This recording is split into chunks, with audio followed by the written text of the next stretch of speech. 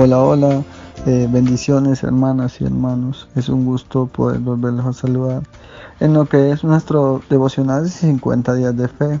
Hoy culminando eh, con el día 50 y también dándole gracias a Dios por un viernes bendecido y que trae muchas cosas buenas ya que es fin de año y terminando el ciclo del 2021. Hoy presentamos el 50 días de fe eh, comenzando con el versículo Isaías 40:31. Pero los que esperan en Jehová tendrán nuevas fuerzas, levantarán alas como las águilas, correrán y no se cansarán, caminarán y no se fatigarán. Nunca va a perdurar. Estas cuatro palabritas tan fáciles de pronunciar, pero con resultados tan devastadores, han sido tentados a darte por vencido en cualquier momento. También eh, por vencido en algún sueño. Sientes como que el divorcio es la única salida. Sientes como que la batalla de la fe ya no vale la pena. Solo te quieres dar por vencido, renunciar, rendirte, tirar la toalla. Isaías 40 es para ti. Isaías 40 contiene una de las más bellas expresiones que hay en toda la Biblia acerca del poder y la naturaleza de Dios. ¿Por qué menciona Isaías esto? Porque la habilidad de resistir en medio de la tormenta viene de Él, que hizo y calma las tormentas. Nuestra habilidad para perdurar en medio de la larga espera viene de Él, el que ha existido por siempre. La palabra de Dios permanece para siempre, yo puedo resistir si me paro firme en su palabra. Dios ha medido las aguas en su mano. Yo puedo resistir si me coloco en sus manos. Dios es el Dios eterno. Yo puedo resistir si hago de Él mi Señor eterno. Cuando tú esperas, tú resistes y tú perduras, esta es la promesa que Dios nos hace en esos versículos. Tu fortaleza será renovada. Tú volarás como una águila. La fuerza renovada es la habilidad para volver a soñar. También tú correrás y no te cansarás. La fuerza renovada es la habilidad para volver a luchar. Y tú caminarás y no desmayarás. La fuerza renovada es la habilidad para perdurar una y otra vez. Una pregunta para discusión para cada uno de ustedes es, ¿qué estás esperando ahora mismo y qué te está costando trabajo? Como punto de reflexión y oración, eh, vamos a darle gracias a Dios por renovarnos. Gracias a Dios por bendecirnos. Gracias a Dios por tenernos un año más con vida. Y dándole gracias a Dios por culminar nuestros 50 días de fe. Todo eso se lo pedimos en el nombre poderoso de Cristo Jesús. Amén. Para mí es un gusto poder terminar los 50 días de fe y también poder culminar el año, hoy 31 de diciembre, eh, deseándole mis mejores deseos a cada uno de ustedes en este año.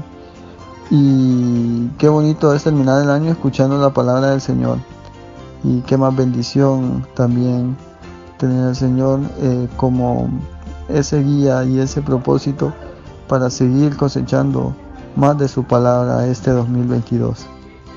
Bendiciones para cada uno de ustedes, es un gusto eh, saludarlos y poder darles estas palabras de devocionales. Bendiciones.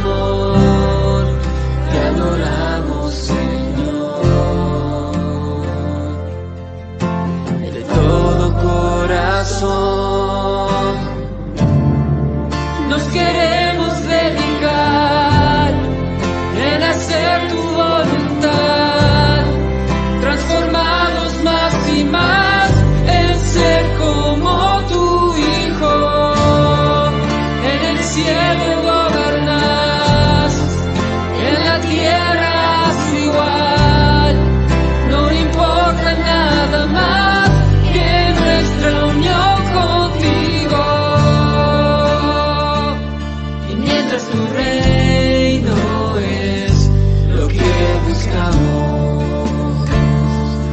Danos el pan que hoy necesitamos.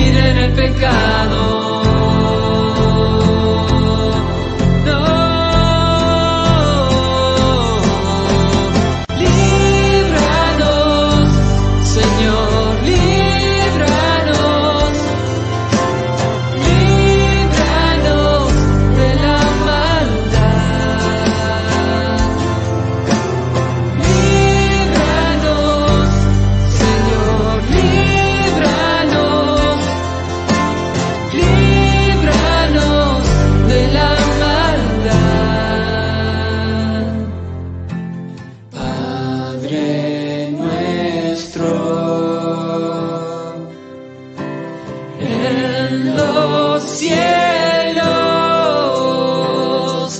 Toda gloria y potestad sean tuyas por siempre y siempre.